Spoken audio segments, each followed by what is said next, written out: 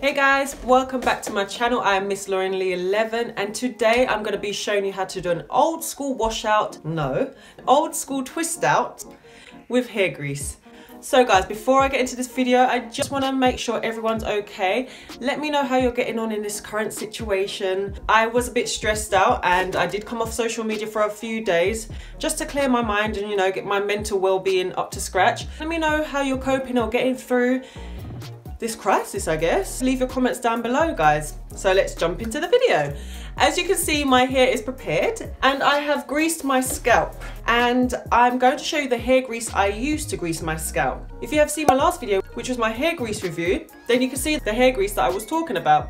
And it was the one that I liked the least, but I used it today because I used it on my daughter. The smell went, it doesn't actually smell as bad as it does in the jar. I greased my scalp with that. It makes me realize why my hair flourished so much as a child. My hair was being washed on a weekly basis. When my hair was being greased, I suppose when you're rubbing the grease onto your scalp, you're stimulating the hair follicles and obviously that promotes growth. So even just doing my hair now, I greased it down the middle, down the sides, and then I sectioned each part. It's a section by section I greased my scalp. As I was doing that, I suppose it was stimulating the hair follicles. So then that in turn promotes growth. I have seen a vast amount of growth in my hair in a short space of time using hair grease. Well, hopefully it just continues. I'm gonna show you how to do this old school twist out, as I said. When I was a child, my mum didn't actually leave my hair as a twist out. She just used to do it in some juicy, chunky twists, but she used to do it in the way that I'm gonna show you now. My hair's damp. I'm going to comb out my curls, but that's what you need to do, guys, to get the best twist out. Right, so I'm gonna take out, I do the back section? Let me just do this front section first, because I always start with the back section, and I feel like sometimes I'm not facing the camera enough for you guys to see. So my hair is quite damp here, near the roots to the middle, but my ends are quite dry. So I'm just gonna respray those.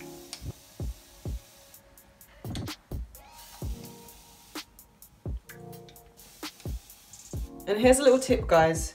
So the bigger the curls, obviously the bigger the twists. If you do skinny twists, then you will have curls that are stretched. I hope that makes sense, guys. I'm sorry, I'm thinking of it in my head as I explain it to you. I hope that makes sense here's how I'm gonna do it. Okay, so now my hair is damp. I'm gonna go in with my favorite hair grease for styling because it has a great hold. And it's the Blue Magic Indian Hemp. As I've shown you in my last three videos now, this is getting to be getting to be a regular feature in my videos. So all I'm gonna do now, like my mum used to do, the old school way, take some of my hand, rub it into my palm, rub it so it warms up. I'm gonna start with my ends first and then work my way up and just make sure my hair is completely coated. I'm going to put a little bit more on my ends as they are the oldest parts and the driest parts and prone to breakage.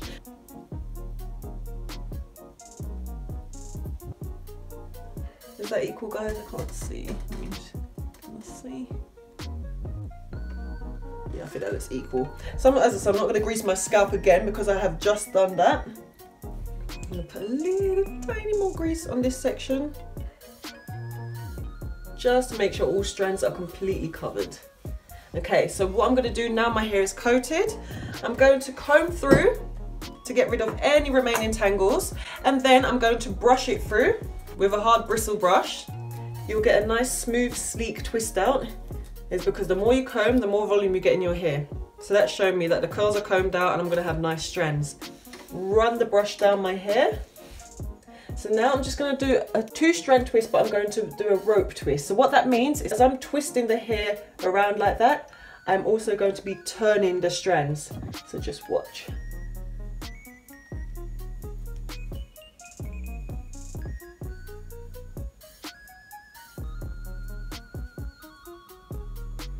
So this ensures guys that you get a nice even twist out throughout your hair and also that the twist stays in. Now what my mum used to do when she used to get to the ends of my hair is she used to then split it into three and plait it. Um, I don't want to do that because when I used to do that to my own hair, I used to rip out the ends. So all I'm going to do is not, I'm not going to twist right down to the ends. I'm then going to twirl them around my finger. Like so. And if you feel it's going to come out, then just put a little bit more hair grease for hold. That's it. That's a nice rope twist. Okay guys, so I'm gonna get on with the rest of this and uh, just keep watching.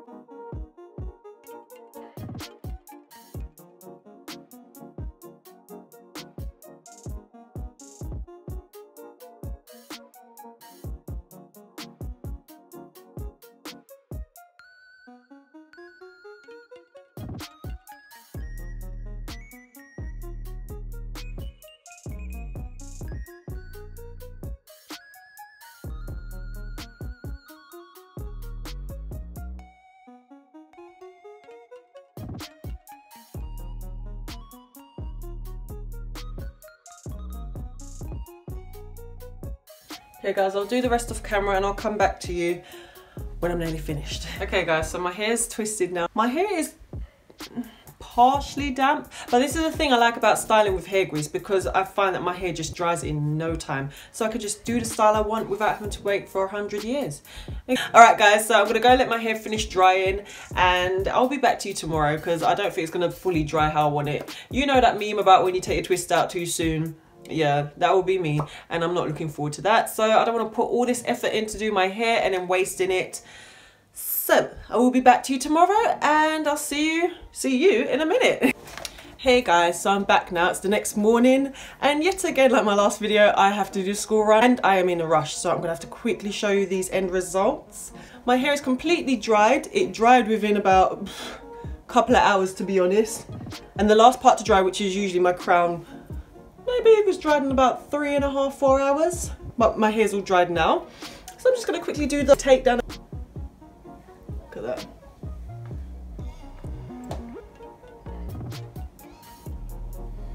Let me do the wrist.